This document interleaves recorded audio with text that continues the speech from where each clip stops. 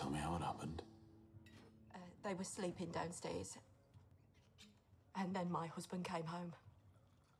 Drunk from the Marquis, even though he just lost his job. We don't have any money. Anyway, he came to bed. But downstairs, they must have heard a noise. They woke up. They started uh, calling out. They woke my husband up. When he's drunk, you don't wake him up. Happened then, Mrs. Connors?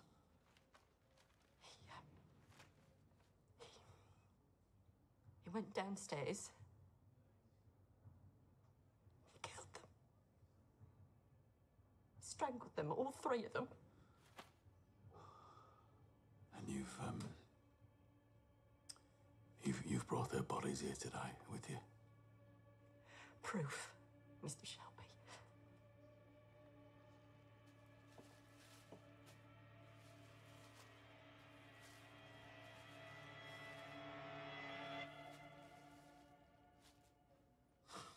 Their singing was the only pretty thing in my life.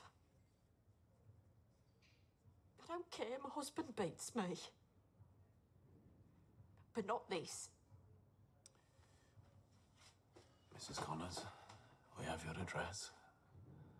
We will speak to your husband. My brother here will go to the Bullring Market today and buy you three new goldfinches and have them delivered to your door. But, uh, same colours and, you know, feathers. The new ones I will call Thomas, Arthur, and Finn. That'll make him pause, even when he's drunk. Good day, Mr. Shelby. You take care, Mrs. Connors. Boy.